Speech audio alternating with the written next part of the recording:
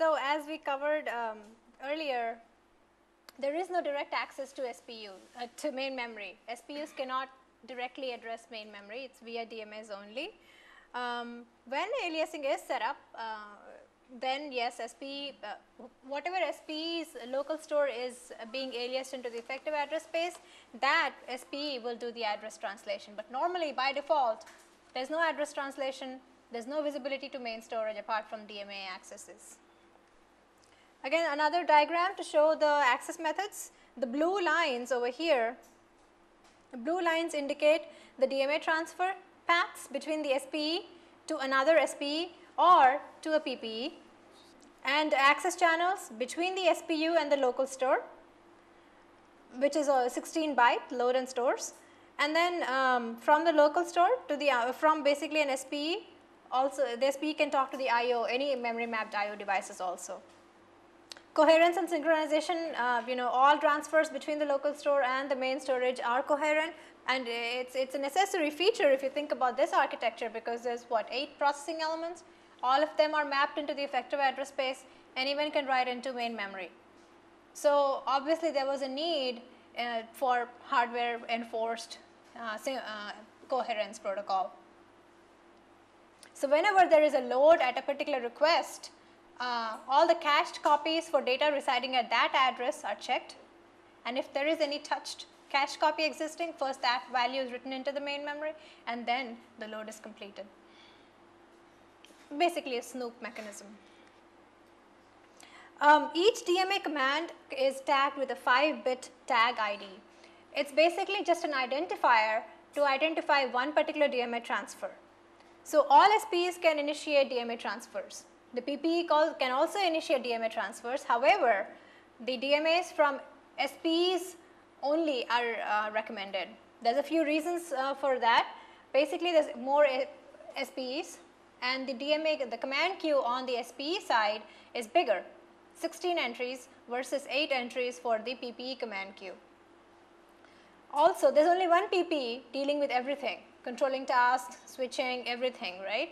Save if, if, there's any context, save and restore that needs to be done, it, it's the only entity. So why load the PPE again with another task of initiating DMA?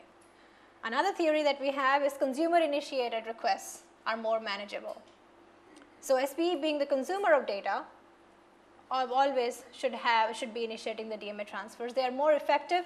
Uh, peak bandwidth is higher when the SP, DMAs are initiated by the SPEs uh, when the transfer size is a multiple of 128 bytes because they generate full cache line requests and the addresses, the address offset in the main memory and the local store address offset both need to be a multiple, uh, uh, basically multiple of 128 bytes.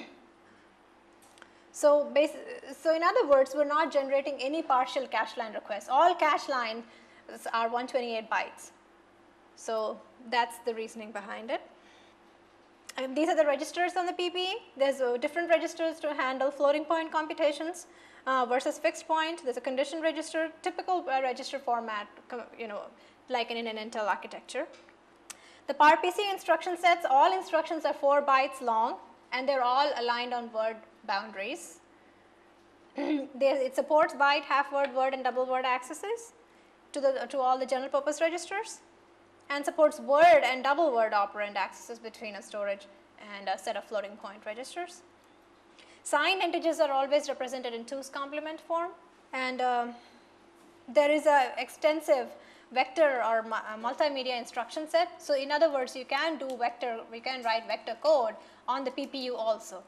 However, what we really recommend is just to do all the vector computations because essentially when you are doing vector you are trying to write some uh, effective high performance code.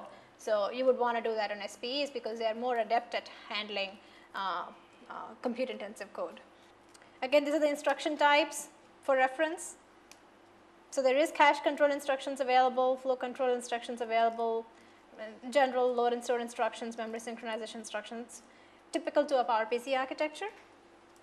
Some more uh, user mode instructions Again the processing units in the PPU, the FXU fixed point unit, the floating point unit, the vector unit. there's some more instruction types. There is uh, all these, basically this, the point of the, all this information is that there is support for all these instructions available. So your application could be anything. It, be, it could be an algorithm from the A&D space or from electronic design and automation or seismic or image processing. I mean, and, and it can be any application and so the instruction set is capable of handling a diverse range of applications. The message we are continuously trying to send by doing all these workshops and, and uh, you know, contests and uh, these ecosystem related activities to send that PS, uh, cell is not just a PS3 or a gaming chip. When it was designed, the architects had it in their mind that it has to take technology and high performance computing to a totally different level. By doing some kind of breakthrough design and uh, beating the competition that we face from all these SMP uh, architectures or multi other multi-core architectures. So again, when we did, when you design this kind of breakthrough technology, obviously the programming will not be uh, as similar or common to the mainstream programming. So that's why the need for this different kind of programming and DMAs and synchronization. So it takes an, uh, a step more of effort to get the performance out of this hardware. Uh, PP has got its own C, C++ language extensions, vector data types. They're all, even on PPE, the vector data type is 128 bits, 16 bytes. So it can hold 8 bit, uh, 16 8 bit values, signed or unsigned, 8 16 bit values, four 32 bit values and four single precision IEEE uh, floating point values. And there's three categories of intrinsics. Intrinsics is just instructions like the VMX instructions. Um, specific instructions have one-to-one -one mapping with a single assembly language instruction. Generic, they can map to one or more. Predicates, there is um, some conditional uh, kind of instructions that are called predicate instructions. Basically, they'll compare two values and generate a mask. And that mask will be used directly as a value to detect a condition or a branch. And this is how a VMX program would look like. The top part of this program just defines a union consisting of an integer uh, array four elements and then there's a vector unsigned uh, vector signed int and then type def it to vec_var so the main program is initializing a vector. So this is how you would initialize a vector. So vconst is a type of structure, structure vvar, a vec_var, and vconst of myvec would be initialized to four floating point values, 2222. v1 is another uh, vector of type uh, that union that we just defined, and load it, uh, initialize it with different values, and then do a vec underscore add. So that vec underscore add is called a vector instruction or a VMX intrinsic. So basically with one instruction in one cycle, we're, we're doing four additions. So which is the whole premise of data level parallelism or single instruction multiple data. So with one single instruction, you're operating on four vector elements. So the result is stored in myvec and you can print it out the way it's showed in this program. So SPE registers is pretty much simpler than the PPE uh, register model. 128 registers, they're all, they all look the same, unified registers. So the same registers are used to do floating point or fixed point arithmetic. So SPE executes both single precision and double precision floating point operations and um, single precision they would be operated performed in a four way SIMD fashion just like a unsigned int or int. Uh, they're all fully pipelined. Double precision operations however are uh, partially pipelined. Um, so this morning Duke covered the even and odd pipelines where you can place, you can run two instructions in one clock cycle. One is, a, one is an even pipeline, you know, like a uh, arithmetic pipeline and the other one is for memory operations, right. So with double precision operation instructions though, it cannot be run with any other instruction at the same time. So dual issue is not possible. Apart from that fact, once you execute a double precision uh, instruction, for the next 6 cycles, you cannot uh, execute any instructions of any other type. So there is a 13 cycle clock latency, 7 cycles to perform the double precision operation and then 6 as a uh, latency. So double precision right now on the current CellBE hardware is a little expensive or it's not as good as single precision, but it's still pretty good by par at par with other architectures. Only one rounding mode is supported, it is all uh, round towards 0. Um, denormal operands are treated as 0. Uh, there is no support for um, infinity, there is no infinity or not a number. And just as I mentioned, no, no other instructions are dual issued with double precision instructions. There are 13 uh, clock cycle latencies and um, only the final 7 cycles are pipelined. And then after you execute a double precision uh, instruction, you cannot execute anything else for 6 cycles. The SPU local store holds instructions and data. So in the 256 kilobytes of memory that you have, you have to fit the code and the data sections. The instruction prefetch will at least deliver 17 instructions, but and uh, because um, the DMA, every DMA operations uh, operation happens once in 8 cycles. So in other words, for DMA write, read, it's 1 by 16th, and for a write, it's 1 by 16th. So it doesn't really impact the usage of the single ported memory per se. And because there's only one single, there's only one port for reads and writes, so there's and three different kinds of operations that have to go through that local store. Read, DMA read and write, SPU load and store operations, um, and then instruction prefetch. The priority, however, however, the highest priority goes to DMA reads and writes, and then loads and stores, and then instruction prefetch. The reason why the uh, loads and stores have a higher priority over instruction prefetch is because the load and store will at least help you with the program execution. It will take the program go further. Instruction prefetch on the other hand is speculative, right, most times. So even pipeline by 0 and our pipeline, all the instructions, there is a program, programmer's handbook in the microelectronics website, fully it covers everything from architecture to coding standards to optimization uh, mechanisms to thermal and power monitoring to performance counters to virtual storage, everything, uh, decrementers, hardware clocks, everything is covered in the handbook.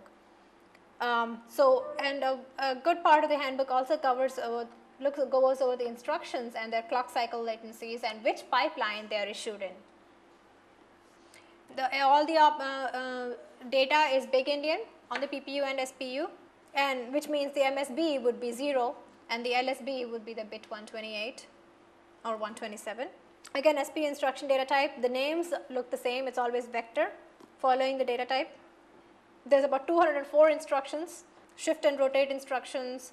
Uh, there is no um, rotate right. So, when you have to rotate left, you just give it a negative um, index to do a rotate right. The synchronization and ordering instructions. And again even in the SPU language extensions there is three classes specific, generic and composite. Uh, the third category uh, is different. Third category is composite which means um, it is basically a sequence of uh, two or more specific or generic instructions. Specific is uh, directly related to assembly level uh, instruction and generic is basically one or more assembly level. The examples are also given. Any specific instruction will be proceeding with an SI underscore and a generic would always be a SPU underscore, add, subtract, multiply, everything. And this is how this data is stored in memory. Um, the first four bytes are called the preferred slot. So in other words, we don't we highly discourage the use of scalar data types on the SPUs. Right? We always we say just use vector because that's the way you will optimally use all the resources available to you. So if you have to have to use scalar data types, let always make sure that they are, the data always resides in the preferred slot, the first 4 bytes. Um, so that when there is, for, for example, I think uh, in the third um, presentation we go over the SIMD uh, operations, but basically um, it helps with the alignment, it's less overhead for the compiler, it's just better for in terms of execution. So in, in other words, this is the byte, oh, let's see, this is one vector consisting of 16 bytes which can store you know 4 integers or 4 floating points or 2 double words consisting of 8 bytes each or 1 quad word. This example, a typical example of um, um, instruction SPU underscore insert will insert a scalar into the vector D.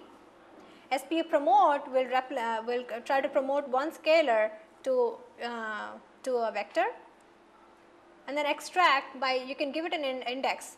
Going back this is all if you if say we are dealing with 4 un, uh, unsigned int in one vector right. So, 0 through 4 would be integer element 0 or you can call it integer element 1 0 through 3 and then 4 through 7 would be integer element 2. So, sometimes you might need to extract integer element 2 or integer element 3 from one vector and, and print it. So, you can do that via this instruction sp underscore extract. And there is a whole bunch of instructions like this. And all loads and stores are one quad word at a time, 16 bytes at a time. There is built-in compiler directives. Uh, the built-in expect is used for branch prediction. Remember SPU does not have any hardware support for branch prediction. So, we try to keep the SPU hardware as simple as possible. Less silicon, less heat, less complication. Enforcing the uh, 16 byte loads and stores you know it removes the necessity to deal with exceptions or traps. So, and by and the way we enforce that that okay all data types are aligned on 16 byte boundaries is when you define a float factor use this macro aligned of 16 would align it for efficient data transfer. And you can always say do a branch hint by using align underscore hint. And this is an example of an SPU program. So, similar to the other example that we saw this is the union with consisting of 4 integer values and one vector unsigned uh, vector signed int and um, 3 vectors defined and then initialize the first vector with 4 values, initialize the second, second vector with 4 values and now to add it it's uh, instead of vec underscore add the SPU would do SPU underscore add. So, there is a local store with the SPU processing unit and uh, this is the memory flow controller. The memory flow controller consists of a DMA queue where you can queue in the DMA requests, a DMA engine basically it's a DMA controller, atomic facility for all, any instructions that go through MMU and uh, RMT is replacement management table um, and then there is a memory mapped IO registers to be uh, read and written into by the PPE and MFC commands. Uh, the, so the memory flow controller is, is this whole, whole, and soul entity responsible for all communication with any other devices, right? So on the SPEs. So the purpose of MFC commands is to basically access main storage, two main initiatives, right? May access main storage and then to maintain synchronization with other processors and devices in the system. Now they can be issued either uh, SPU or by the PPE, right? Uh, basically the instructions are going through the MFC, they can either be issued by the SPE or by the PPE. And all these instructions are basically channel instructions. So anytime you're trying to do a, read or a write, basically it's a read or write to the channel instructions. Uh, for the PPE though, it's always memory mapped IO instructions. So as we covered in the previous diagram, whenever the SPE needs to talk to the, to the basically the DMA engine, if you see the red uh, line is the data bus. It's for uh, whenever the SPU needs to talk to, to com communicate with the MFC, it uses channel instructions and whenever the outside entity the PPE is existing somewhere here, it needs to talk to this MFC, it uses this MM memory mapped IO instructions. And then all MFC commands are queued under MFC SPU command queue. The proxy command queue are for the PPE initiated memory mapped IO instructions. And this is some detail for your reference. So, all operations on any given channel, channels are strictly unidirectional. They are just message passing interfaces basically. They are always done in program order and you can always uh, query the status of a channel instruction by doing reads and writes. So, um, again whenever we are talking about any DMA requests or any mailbox communication or synchronization commands, the reference point is always the SPE. So, when we say get it is into the SPE and put is out of the SPE. Uh, the, uh, the internal instruction for a DMA command is SPU write channel, basically it's a channel instruction. Composite intrinsic we just covered is a collection of one or more specific or generic intrinsic, right? FCDMA 32 is the composite intrinsic and but the instru instruction that we use is a wrapper external, it's a much simpler wrapper routine is MFC get. This is the command that we will most commonly use in all the code. And these are all defined in SPU underscore MFCIO.h This is a syntax for MFC get. It's a simple DMA transfer command. Basically, you give the offset, the local store pointer as to where you want to uh, put the memory in uh, once you fetch it from the main memory and where do you want to fetch the memory from in that is the effective address in the main memory space and then how many bytes and then assign a tag an identifier to the memory so that if you want uh, once you initiate the DMA request you want to query if it's done or not. So, the tag ID can be used to query the status of a particular uh, DMA transfer. And then transfer class ID, TID is used when you want to change uh, or manipulate the, the transfer uh, mechanism on the bus for it. Usually it's just default. I'm not sure if it's enabled in the current SDK development too. RID is replacement class ID. Uh, again, this is something when we where, that we use when we are using software managed cache. There's features for fences and barriers like a typical Linux OS supported fence and barrier, uh, nothing different over here. It's just uh, that now we have combined that fence and barrier feature with the MF with the DMA command. So we have more control over I/O. There's a 5-bit DMA tag for all DMA commands. Again, um, so up to 32 uh, tags is what we can create. This is an example for a fence and barrier. So essentially, uh, barrier is something. Say for example, this is a green slot that is a barrier. Uh, that is a DMA transfer that you have issued with a barrier option. So any preceding DMA transfers cannot be executed until this barrier instruction is done and even succeeding DMA commands cannot be executed until this barrier instruction is executed versus a fence which only stops all the preceding DMA operations to be done before this uh, particular uh, DMA transfer is finished, but any succeeding ones, any DMA issues that are issued after this fenced command can just happen fine. So that's the difference between the fence and like a typical fence and barrier. Transfer sizes always have to be 1, 2, 4, 8 or multiple of 16 bytes for DMA. Maximum is 16 kilobytes per DMA transfer. 128 by kilobyte alignment is preferable for to uh, generate uh, to get optimum performance. The command queues are 16 element for SPU initiated request. For PPU, it's 8 element queue. There is something called uh, DMA list, which is a very excellent feature again that's provided on the SPEs and uh, on the cell broadband engine. It's basically a scatter gather mechanism. So by which you can get, um, the SPE can initiate a DMA list. In a DMA list, what it tells is that asynchronously get memory from wherever it's available in the PPE address space, in the effective address space.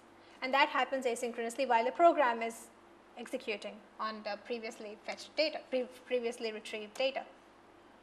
The advantage to the DMA list is that it can, it's a kind of a solution to fragmentation in the effective address space. It will just grab wherever it is there and, and maintain it in a list and just do it, uh, process the whole data asynchronously while the execution is going on on the previously issued data. It can contain up to 2K transfer requests and each transfer request can be up to 16 kilobytes.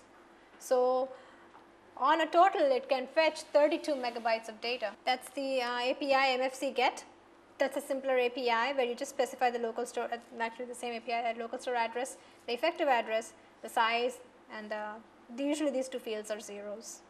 You can check the status of a DMA command by um, MFC, by, by this command the read tag status and this is the API MFC write tag mask is the API to set the tag mask.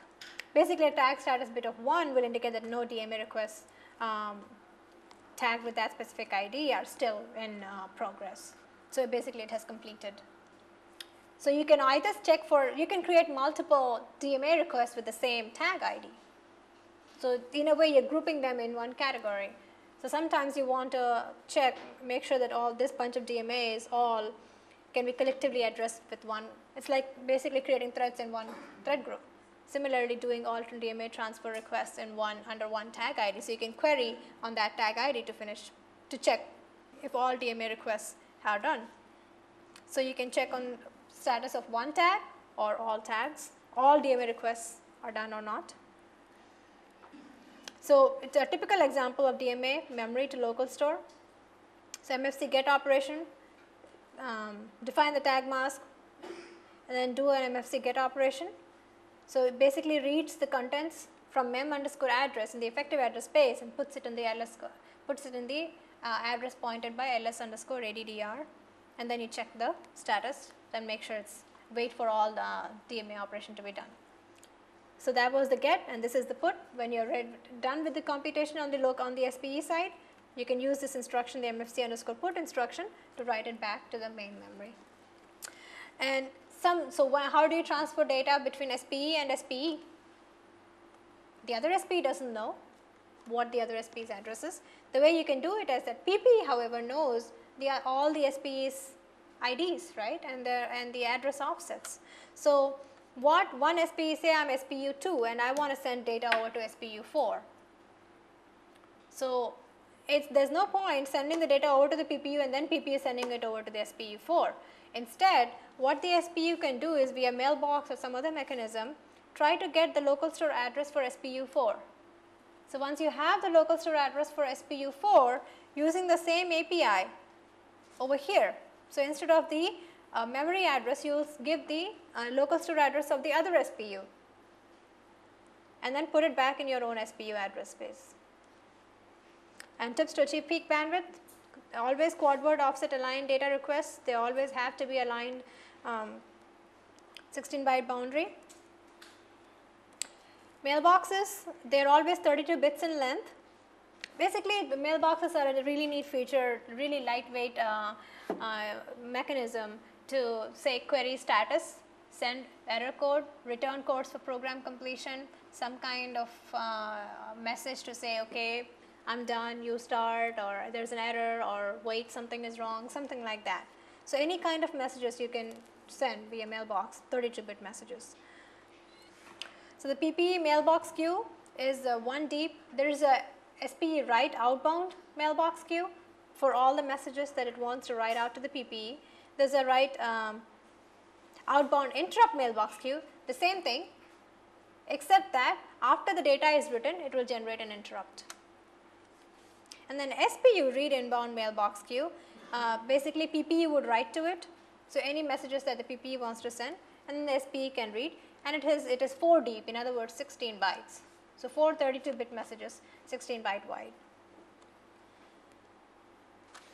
This is the way the PP again even for mailbox it has to interact with the MMIO registers. So, this is the API pretty straightforward really simple read write API. So, this is the MFC PP mailbox right one PP mailbox is there one PP interrupt mailbox is there and then SPE mailbox is there. So, anytime SPE wants to say read out from the mailbox what the PPE has written for it, it can do a read out mailbox. All the SPE reads and writes to mailboxes are um, blocking. So, in other words if SPE is trying to write to the outbound mailbox that is already full, it will halt it will stall basically. So, it is always a good idea to check the status to read the channel count and see if there is any data already there in the mailbox uh, if it is already full. If it is full then you wait. Also if SP is trying to read from an empty mailbox it will also stall until PP writes something out of it, write, write something into it. So, in order to avoid these stalls from the PS from the for, for the SPE it's always a good idea to check, read the mailbox count and see if it's not empty or if it's not full. Versus the SP, the PPE, if PPE is trying to write to some the mailbox which is already full, it will just overwrite the last entry which is again not a good thing. so, you still it not halt the PP because halting the PP or stalling the PP is a bad bad idea right that is the only the main your main application is running over there. So, you want to check the status and uh, make sure you do not overwrite data. So, again this is just the API description. If the outbound mailbox is full, the channel count would be 0. So, if the SPE is trying to you know write to a full mailbox, it will remain stalled until PPE will read the message. So, there is one 32 bit entry which is vacant. So, there is room for write. And when the mailbox is read through the memory mapped IO address by the PPE, the channel count is incremented. Similarly, with write uh, outbound interrupt mailbox, it is the same as the write outbound mailbox except that when the um, write is done an interrupt is raised. So, provided the interrupt is uh, enabled Um, so the first the interrupt is serviced and then PP goes and reads the MMIO register to get the data value out of it. So to avoid the SPU stall, always read it before writing or reading, at least for the SPU and for the PPU, if you don't want to read stale data or overwritten data, make sure you check the status. Similarly for read inbound mailbox channel, it will stall on an empty mailbox. So all for when the SPU wants to read any message that is waiting for it in the inbound mailbox from the PPE, you know, um, make sure you read it, make sure it's not empty because if you try, if SP tries to read on an empty inbound mailbox, it will stall until PPE writes something to it. Okay, so this is the way to create the thread. So, uh, so when the PPE is trying to, would try to create a thread, this is how it will try to create a thread. SP create thread ID, this is the group, thread group. If you have created a thread group before creating this API, you will pass that in. And then this is the pointer for the uh, program and then Duke is going to cover that hands on in the lab to show, look at, see the code and see how the SPU program. Basically this SPU load image has to be the same name that is defined in the make SPU make file under the program underscore SPU. So it becomes a global reference. Again to check the status of a mailbox, the simple API stat out mbox, pass it the SPE ID, find out if there is any data write out interrupt mailbox is also the same. Now, when the uh, SP, uh, when the PPE call is trying to call it, it will pass in the SPE ID.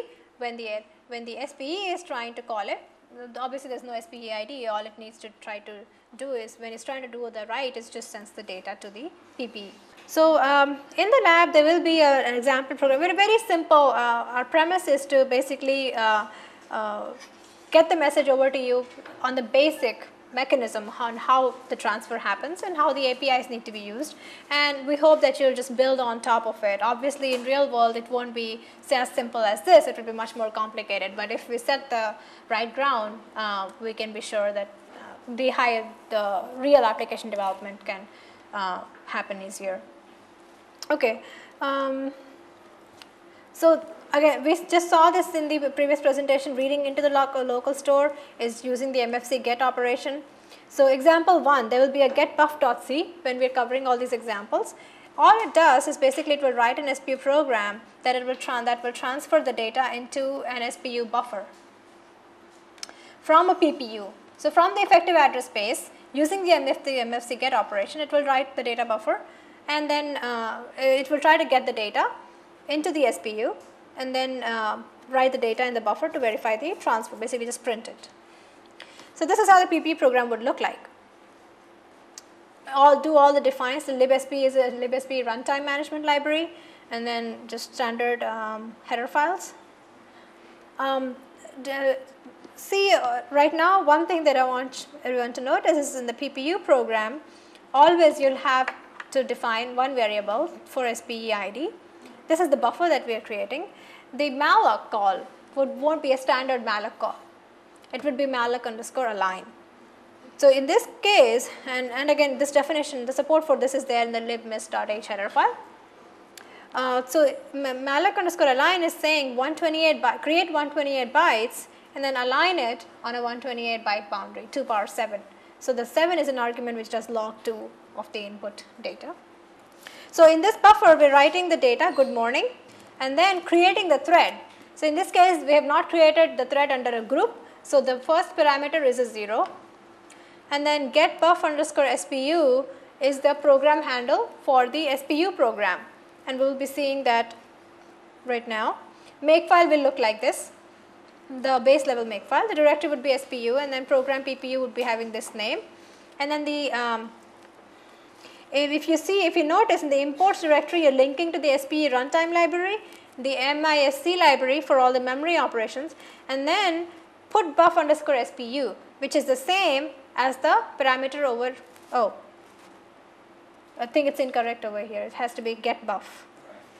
So this, this name would be the same name as the program handle over here and this should be this will be created over here sp extern spe program handle get buff underscore spu. So essentially in the PPU symbol space this program handle, whatever is the SPU uh, you know, references will be visible to the PPU because it's embedded in the PPU executable it's, itself.